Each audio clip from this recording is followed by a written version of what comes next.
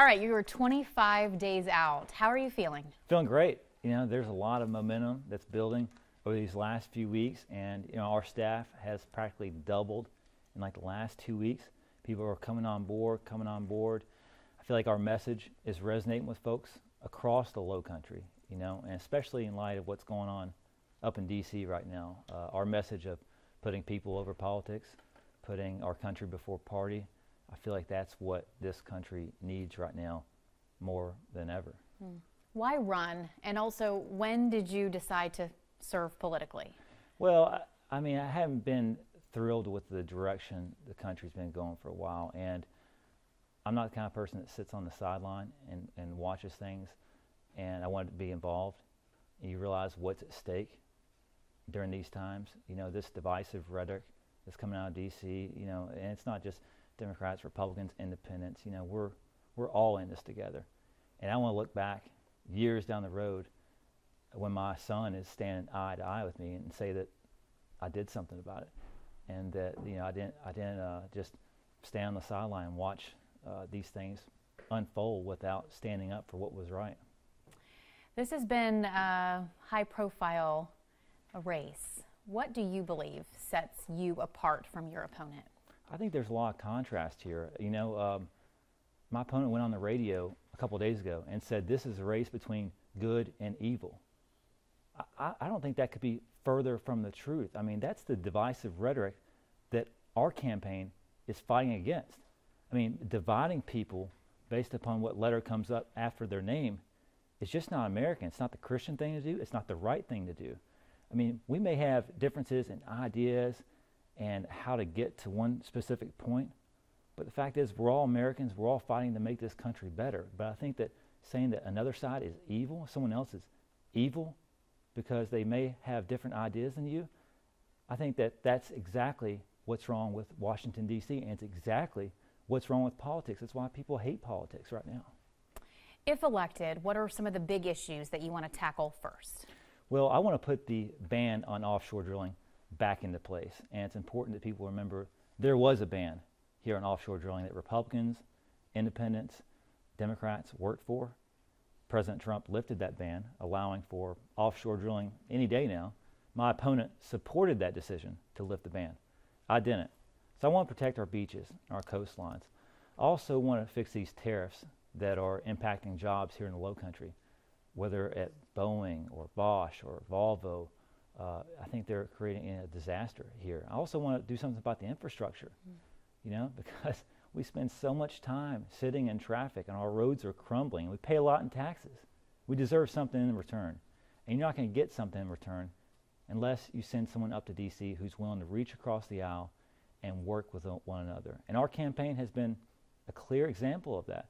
I mean, we've got Republican mayors endorsing our campaign.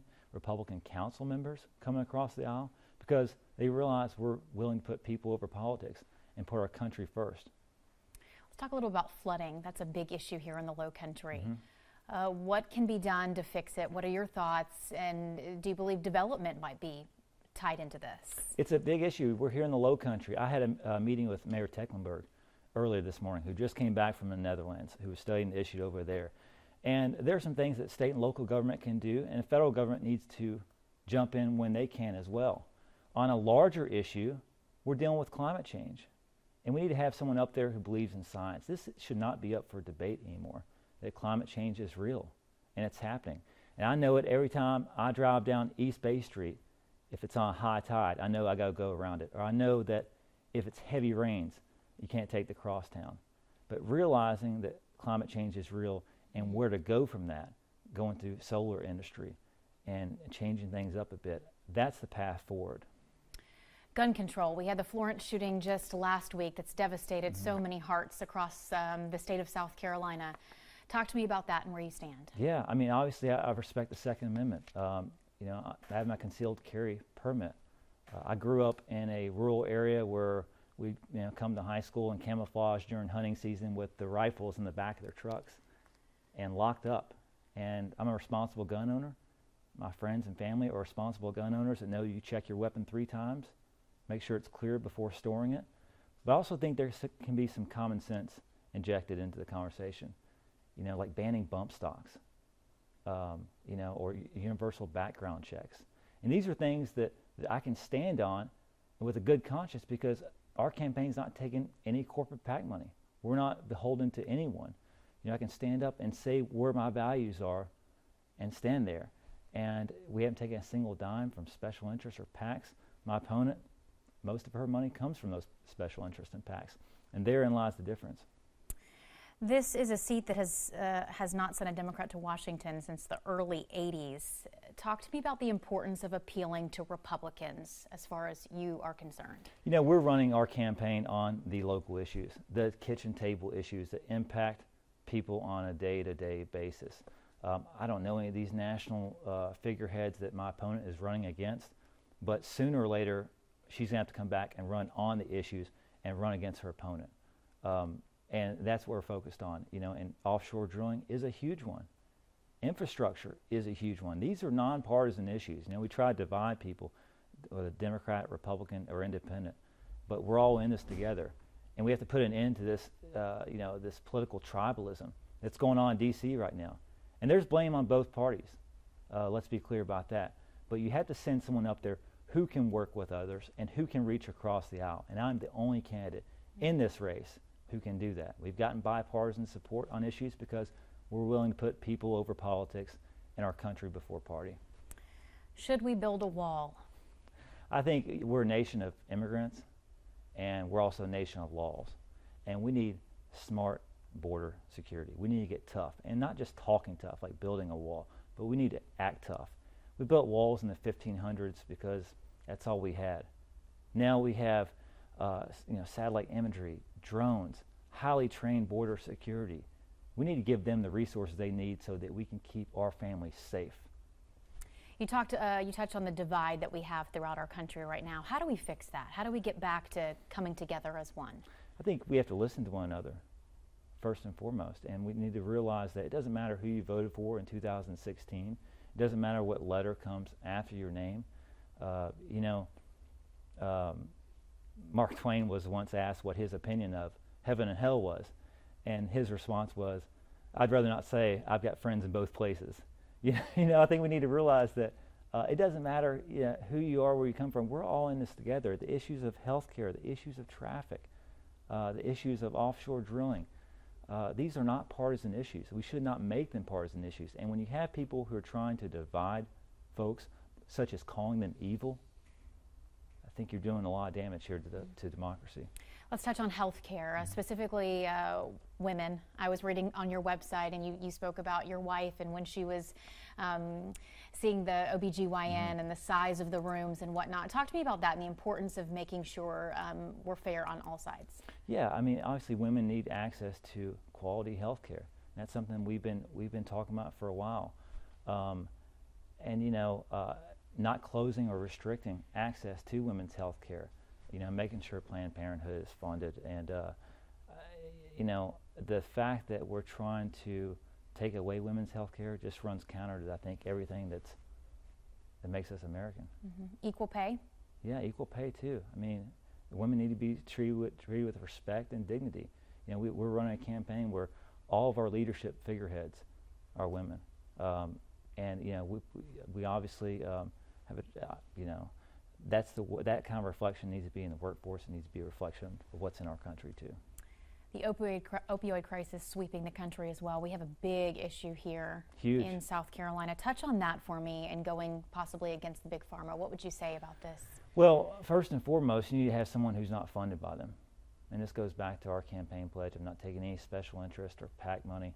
I worked in the prosecutor's office, and um, we prosecuted people for trafficking in heroin and they came into heroin because they got addicted to opioids. So big pharma and opioids have a big strangle uh, on our on our uh, healthcare system, and that stranglehold needs to be broken. And you can only break that if you send someone up there who's not beholden to them, who's not taking their money. Our healthcare system, you know, in the greatest country on earth, we should also have the greatest healthcare system on earth. And we don't have that right now. We don't have that right now because big pharma is in the driver's seat. They're controlling the cost and you need to send someone up there who's not beholden to them. What are some challenges you've been up against here in the Low Country? You know, we, have our message has been resonating with folks. Um, you know, fr- everywhere from Hilton Head all the way to McClellanville. And I think that this message of putting people over politics and putting the low country first is striking people. Um, you know, it's um, and we're not focused on what's going on on the national level and the national scale. I know my opponent wants to run on national figureheads, but you need someone who represents people here in the low country and issues that are important to us. And that's where we stand. You have you have an ad right now out um, with Republicans for going their own party, mm-hmm. jumping on board with you. What is their reasoning? What are they telling you? Offshore drilling is a huge issue. You know, our beaches are you know, our pride and joy of, of low country. It's what makes us special. Everything from Isle of Palms all the way down to Hilton Head. And it's important to remember there was a ban on offshore drilling uh, that was put in place by Republican mayors, Democrats, independents. President Trump came in and lifted that ban, allowing for offshore drilling any day now. Uh, my opponent said she supported that decision to lift that ban. I opposed it. And these Republican mayors who have endorsed our campaign, uh, Republican council members, uh, see that we're putting the low country first um, and that I share the same values they do. You know, wanting to preserve our beaches so that my son, I can take him out and fish with him on the beach one day. You know, or, you know, we can go down to Hilton Head and not have to worry about a beach closed sign popping up. You know, we want to preserve our natural resources. And not to mention, it's the lifeblood of our economy down here in the low country. And those are the values that I understand, and folks across the district are seeing that we share those too. Speak to undecided voters across the state right now in this congressional district. What do you say to them? I think that we've got to put this, uh, you know, political tribalism aside right now and focus on the issues that we can agree on, that we can work together on. You know, when my opponent comes out and says uh, good versus evil, and, and I'm called evil, you know, that's exactly the kind of politics that we're running against right now. And we cannot get anything done until we send people up to D.C willing to work with others to produce results for the low country, to fix the flooding, to fix the traffic nightmare, to make sure there's never any oil on our beaches. And that won't ever get done until you send someone up there who is willing to reach across the aisle. You have some political heavyweights supporting you. You have former Vice President Joe Biden, the mayor of Los Angeles, U.S. Senator Cory Booker, your opponent, Ms. Arrington, uh, responded in a tweet recently about Booker's endorsement. Um, her quote Extreme DC liberals like Cory won't change our South Carolina conservative values. Your response? You know, uh, there's no need to respond to things like that, um, you know, because that's just the kind of politics that she's running on. I'll tell you the, the endorsements I'm most proud of Jimmy Carroll, Mayor of Palms, Mayor Tim Goodwin of Folly Beach. These Republican endorsements, these local people that I know, I actually know, uh, and that you know that the circles that I travel in, because those are the people who have put their foot down and said enough is enough. We have to stand up for what's right here in the Low Country, and stand up for our values, and those are the values that I share. Who is Joe Cunningham? Joe Cunningham, uh, he's a, he's an attorney, he's an ocean engineer, he's a proud father, and uh, you know, it's been a, a, wonderful eight months of fatherhood, and and uh, it's the it's what keeps me going.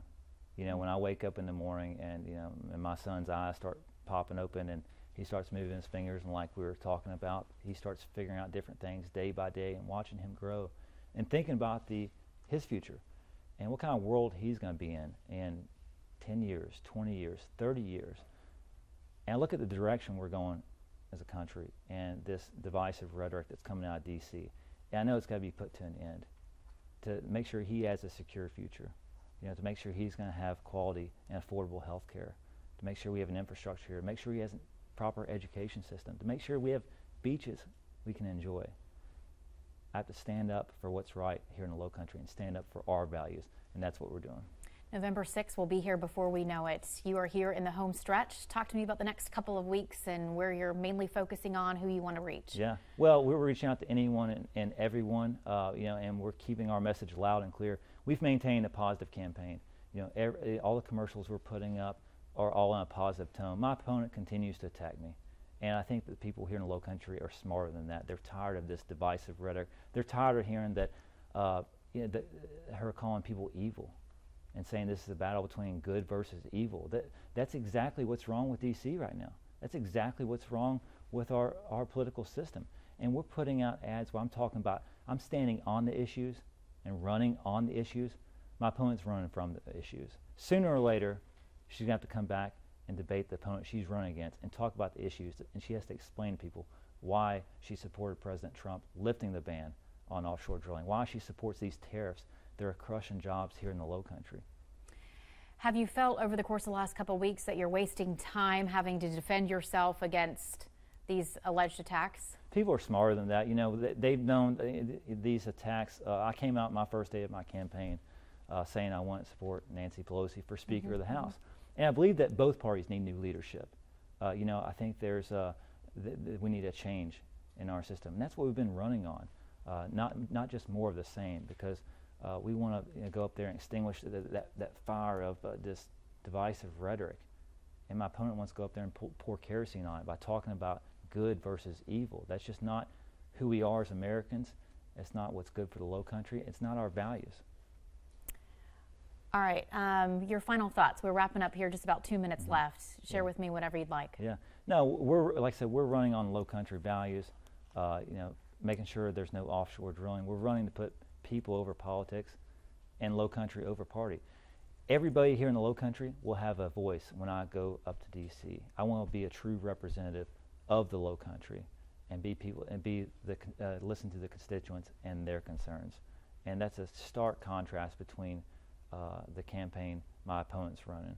And you look at the, the types of campaigns that I'm running versus what my opponent is running, and the type of campaign is a symbol of the type of congressman person will be proud of your campaign so far. Is there anything you wish you would have tweaked or or uh, hope to do better in the future? I'm proud of everyone that's been working on the campaign. I'm proud of the strong leaders uh, within our campaign. I'm proud to stand on a positive message, and people are coming up to me every single day. Thank you for staying positive. Thank you for talking about the issues. Thank you for not going into the gutters and, and, and talking about these, uh, you know, the, the, the national politics that everyone else is running on. And so we're going to continue to maintain that that message and talk about the issues. And I think that at the end of the day, that's what resonates here in the Low Country, and that's what represents the values of people in the Low Country. Mr. Cunningham, thank you so much. Yeah, of course. Thank you. It. Thanks for thanks for having me. Absolutely.